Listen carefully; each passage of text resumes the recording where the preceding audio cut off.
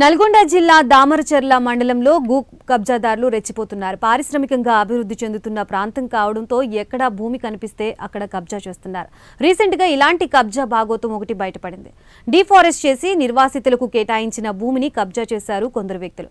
నిజంగా భూమి కలిగిన వారికంటే కబ్జా చేసిన వాళ్ళే అధికంగా ఉన్నారని స్థానికులు చెబుతున్నారు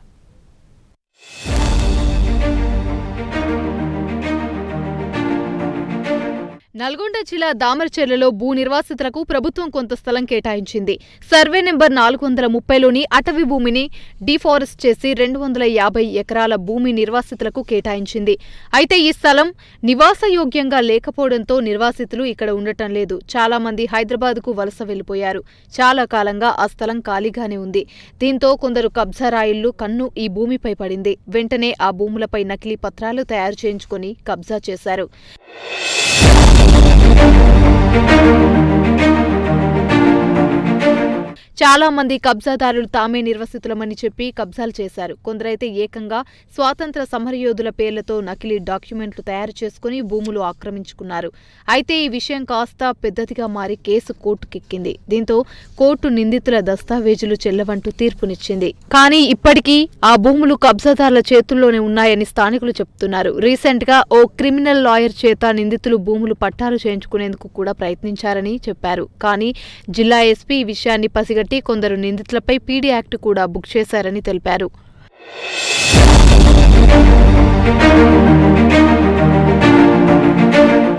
కబ్జా చేసిన వాళ్ళలో చోటామోటా నాయకులు అధికార పార్టీకి చెందిన కొందరు వ్యక్తులు ఉన్నారంటూ స్థానికులు చెబుతున్నారు.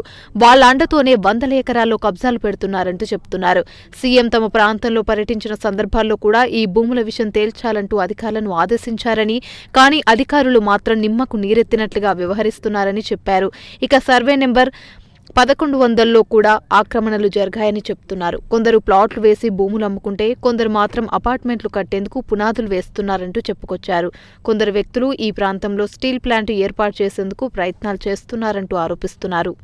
దామర్చెల్ల మండల పరిధిలలో ఎనిమిది వందల ఇరవై ఆరో సర్వే నెంబర్ రాజగట్టు ప్రాంతంలో మరి గతంలో ఇరవై ముప్పై సంవత్సరాల కిందట సాగర్ ముప్పు బాధితులకి ఆ భూములను కేటాయించడం జరిగింది.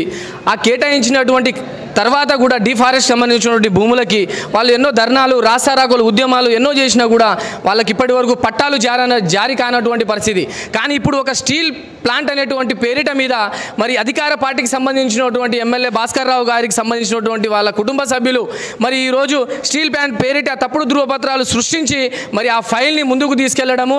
అదే తరుణంలో మరి ఎంఆర్ఓ గారు ఆ ఫైల్ మీద సిగ్నేచర్ పెట్టకపోవడంతో అతన్ని రాత్రికి రాత్రికి మరి ట్రాన్స్ఫర్ చేయడము. ఈ ఫైల్ని ఇప్పుడు కొత్తగా వచ్చినటువంటి జిల్లా కలెక్టర్ గారు ఆ ఫైల్ని ఆపివేయడంతో ఈ విషయం అనేది వెలుగులోకి వచ్చింది. మేము ఒక్కటే సూటిగా ప్రశ్నిస్తూ ఉన్నాము. దామర్చెల్ల మండలంలో ఉన్నటువంటి రైతులకి ఇప్పటికైనా సరే ఏ స్టీల్ ప్యాంట్ వ్యక్తి వస్తారో వాళ్ళందరూ అయితే ఈ మొత్తం విషయంపై అధికారులు చెప్పే స్టోరీ మాత్రం వేరేగా ఉంది. తమ ప్రాంతాల్లో ఎలాంటి ఆక్రమణలు జరగలేదని రెవెన్యూ అధికారులు చెప్తున్నారు. ప్రభుత్వానికి చెందిన ఖాళీ భూముల రికార్డ్స్ మొత్తం క్లియర్గా ఉన్నాయంటున్నారు. భవిష్యత్తులో ప్రాంత అభివృద్ధి కోసం ఈ భూములను ఉపయోగిస్తున్నారంటున్నారు. ఎవరు ఆక్రమణలకు పాల్పడ్డా కఠిన చర్యలు తీసుకుంటామని చెప్తున్నారు.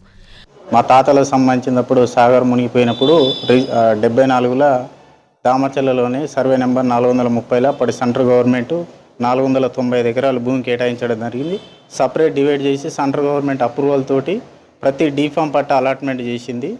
ఫార్టీ ఫోర్ నెంబర్స్కి అలాట్మెంట్ చేయడం జరిగింది. దానికి సంబంధించి మా తాతలు అందరు రిలేషన్ అందరు కలిసి ఉన్నాము.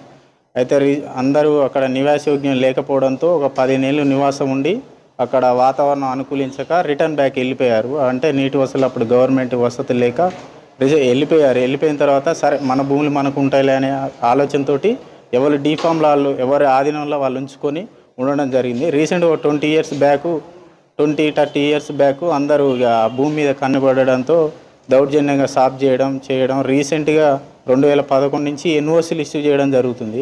ఎన్ఓసీలు అసలు ఎట్లా ఇచ్చారని అధికారులను అడిగితే దాని డీటెయిల్స్ లేవమ్మా మా దగ్గర అని చెప్తున్నారు. అధికారులు ఆక్రమణదారులతో కుమ్మక్కైపోయారని స్థానికులు ఆరోపిస్తున్నారు. అధికార పార్టీకి చెందిన వ్యక్తులు ఇందులో ఉండటమే అధికారులెవరూ ఎలాంటి యాక్షన్ తీసుకోలేకపోతున్నారన్నారు. ఈ విషయంలో జిల్లా కలెక్టర్ విచారణ చేపట్టాలని కోరుతున్నారు. తమ ప్రాంతాల్లోని భూములు అన్యక్రాంతం కాకుండా కాపాడాలని కోరుతున్నారు.